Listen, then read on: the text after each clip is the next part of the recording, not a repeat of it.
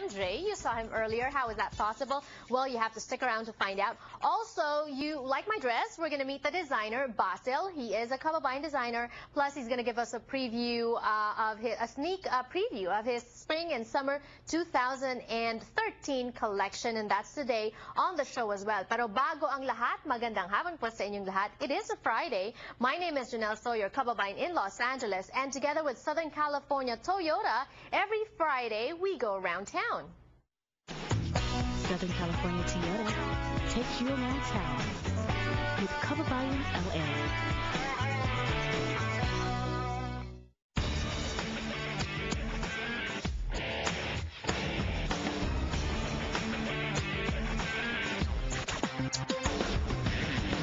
Global Sikaran is uh, is an art of self-defense. Ito ay isang uri ng laro ng uh, martial arts na katutubo sa ating bayan sa bayan ng Baras, Pilipinas. Pag sinabing mas marami sa ating mga kababayan sikat ah, mas ah, pamilyar sila sa taekwondo, nagsimula sa Korea, judo, nagsimula sa ah, Japan, kung fu nagmula sa China.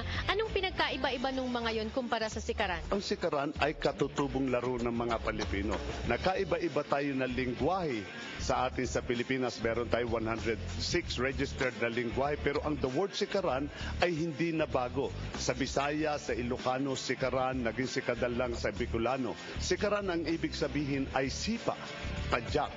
Yan ang pinakang ah, ibig sabihin yan at yan ay nagmula sa bayan namin, sa bayan ng Baras, ah, probinsya ng Rizal. Paano naman nagkaroon ng Global Sikaran Federation dito sa Delano, California? Ah, nung ako ay ah, nung 1997 inimbita ako ng World Martial Arts ah, Federation sa Washington DC. Nag-move ako sa Bakersfield and then napunta ako dito sa Delano na hindi ko alam na dito pala ipanganganak ang Global Sikaran Federation.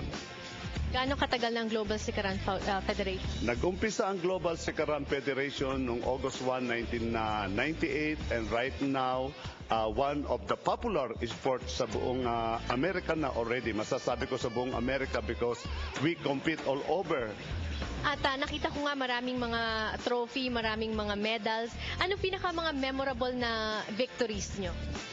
Actually, uh, lahat ng mga uh, awards namin na nakikita ninyo sa palibot ng aming uh, sanayan ng uh, martial arts, ang pinaka-memorable sa amin ay yung kami ay awardan sa Pilipinas noong nakaraang Abril 21 sa First Filipino Martial Arts Hall of Fame. Kasi pang uh, pampitong Hall of Fame Hall of Fame ko na to sa na tinatanggap sa buong mundo. Congratulations. When you say um, Global Sikaran, when you say awards, when you say uh, Philippine martial arts, what makes Philippine martial arts different from the other types of martial art? Okay, ang sikaran ay we have a distinct style. Ang karate is empty hand, ang taekwondo is almost the same sa amin uh, style, sa sikaran style, but their major kick is uh, 45 roundhouse, but ang our uh, sikaran major kick yung tinatawag na biakid or turning wheel kick, what they called in English. That is a dangerous kick. Bukod sa uh, self-defense, magaling din ang martial arts sa fitness? Oo, ay napakagaling kasi kaya nga sa edad kong ito, hindi ako tumataba, hindi ako fit. Uh, kung anong weight ko no ako'y dumating dito sa States, ito pa rin ang weight ko kasi yan na ang ano ko eh, passion ko eh.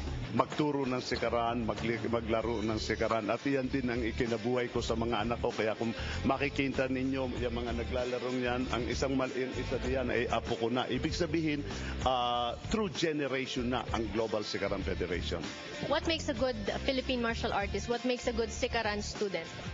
Oh, uh, the the good Sikaran student is how they will uh, they maintain their disciplines. That's the good thing. Most uh, usually, since I established the Global Sikaran Federation here in uh, Delano, California.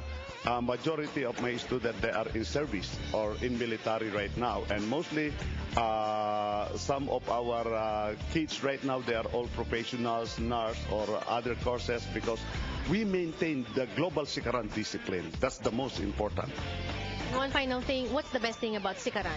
Bakit Sikaran? Why not, you know, Taekwondo? Why not Kung Fu? Why not? that's a good thing because we are a Filipino. You know, the Sikaran is, uh, you know, uh, the Filipino art of foot fighting. Kaya mas tangkilikin natin ang sariling atin.